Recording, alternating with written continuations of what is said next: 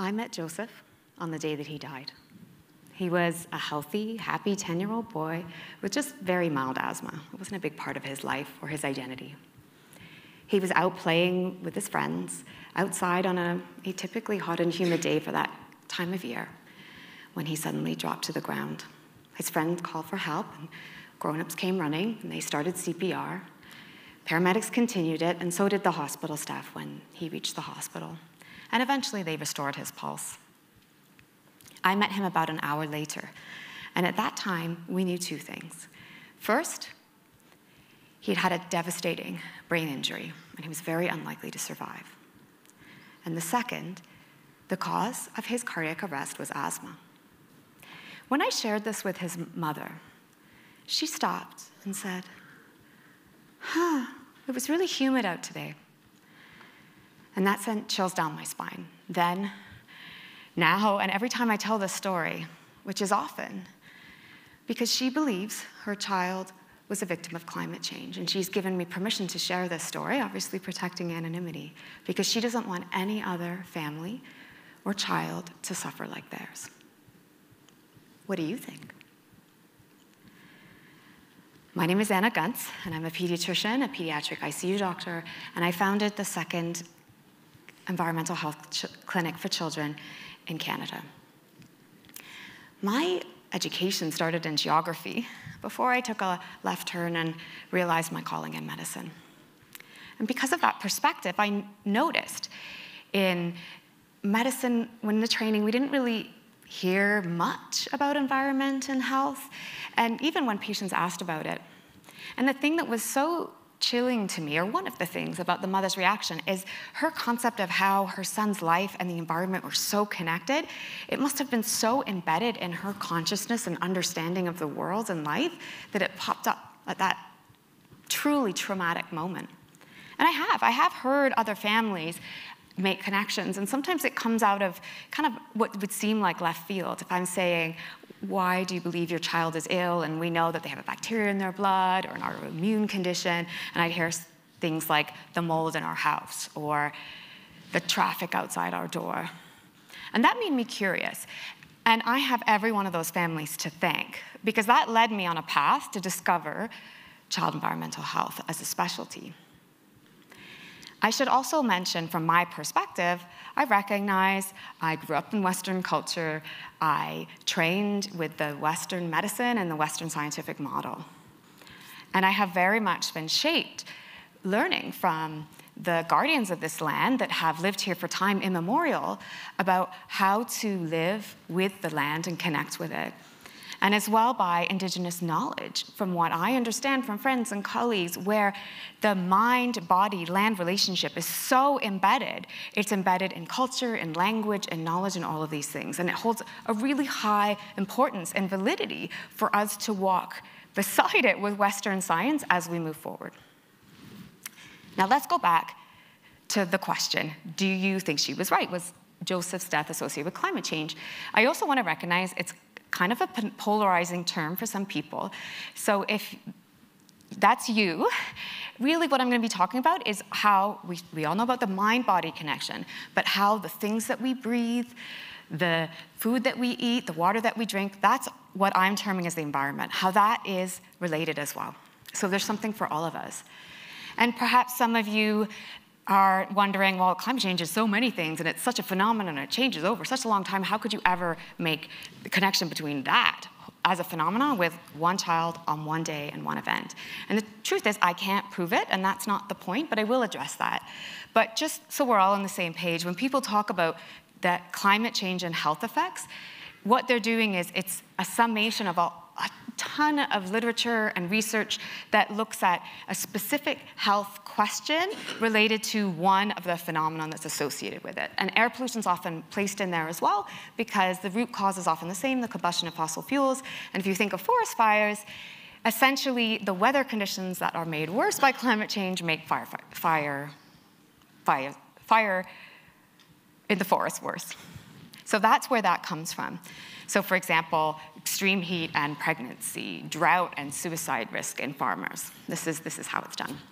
Now, going back to this concept of why can't I prove that his death is associated with that one thing, A lot of people will come to the environmental health clinic and ask, like, can you prove that this my kid's arthritis is associated with mold? And that concept of proof is really hard when it comes to environment and health. And the reason, there's a lot of reasons for that, and let me just explain for a little bit. Part of it is if we're not looking for it, if we're not inquiring about it, there is a knowledge gap about even in a medical field, our understanding of the relationships we've already identified. So if we're not asking, if we're not looking, and we don't know, we'll miss it. And that makes me think of all these patients that we have and who I love seeing in our clinic who have definite disease or illness or symptoms and no one can explain them. So it's asking, could it be the environment? But you know, there's a lot of other complexities. So if you're exposed to something, you might get an immediate reaction to it, or you might just have a coincidental reaction and they, they might not be related. Sometimes it's delayed by years or decades. Sometimes you need one exposure and another one that acts synergistically, or an early exposure early in life that might then leave you susceptible to another exposure that leads to a health effect later on. There's also delays in generations. So, for example, women who were exposed to DDT in pregnancy, it was shown that their daughters had higher risks of breast cancer and their granddaughters had higher risks of cardiometabolic disease. The other thing is the, you know, the source and the symptoms might not be intuitive. So, for example, heat. If I told you that people were dehydrated and they had heat stroke or heat stress or sunburns, you'd be like, okay, that makes sense. But it's also triggered or associated with heart attacks, strokes, risks of, you know, sudden death, and for many reasons outside of that, just a little less intuitive. Or air pollution, you know, that I said long term, air pollution has been associated with lung cancer, but maybe is alarming, but intuitive. But when it comes to, um, it is also these microparticles actually go from the lungs into our bloodstream, and we think that's why we also think, see things like dementia, brain tumors in children, and even schizophrenia in young people. And going back to Joseph, extreme heat and air pollution are both independently associated with asthma. So what she said is actually quite plausible. The other big piece here is that honestly, do any of us really know all the things that we come in contact with on a daily basis? There's just so much, and we might not have the information, or it might not be easy to get. But if we look at just the sheer mass of things, there are chemicals and new substances that are being created every year, so we can't know the long term effects. And there was a study in 2020 that estimated 350,000 chemicals and chemical mixes on the market then. And with new you know, approvals coming in every year, there's such a sheer volume that we often rely on uh, industry sponsored research to say whether it's healthy or not, if we even require them at all in our country's regulation systems. And while you would want to believe that there's objectivity there, and, and, I'm sure that there's high quality in some cases, unfortunately, there's been very high profile reports of some industry concealing some of the harmful effects when they uncovered them. And in a, as upsetting as that is, it's an understandable why. At the end of the day, it's people. We talk about systems and industry, but they're really made of people who are stressed and making difficult decisions. I'm not excusing, I'm just understanding. And a lot of people might not realize as well this link. Right now, we're in a situation where it doesn't matter how rich you are, where you live, where you live in the world, these contaminants are being released at, in millions of tons a year. And we've, I'm sure, all heard reports of you know, microplastics being held and found in some of the most remote places on Earth the bottom of our oceans, the tops of our mountains, and even in human placenta. So this is affecting us all now. So while I might not be able to prove that your arthritis is associated with the plastic lunchbox that you use, that's not the point. We, just because we can't prove something, it's important to wonder and be curious and be comfortable not knowing and being uncertainty. And that wondering that I did led me to wonder wait, why are we even having to prove something's bad for us? Why aren't we asking, how can this be good for us? Because if we ask, how can this be good for us, we can still be curious, we still have to be academic and rigorous, but the burden of proof isn't, is on something that's much more attainable than proving something's bad, which is why part of the reasons I've explained about why it's so hard.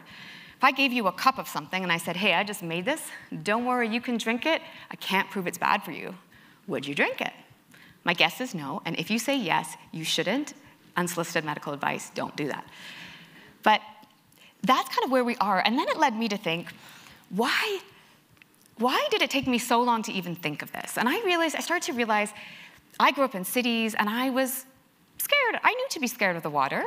I didn't realize I was scared. I just knew I wanted to be in it, but I don't touch it, I don't drink it, I don't bathe in it, it's dangerous. The air is polluted, and it's great if you have clean air, but we don't, so you just, I, you know, and, and truthfully, I think I'd seen a lot of examples of people asking for these things or organic food, and there's a lot of negative narratives that weren't to describe them. You know, they weren't strong, aren't realistic against progress, these kind of things.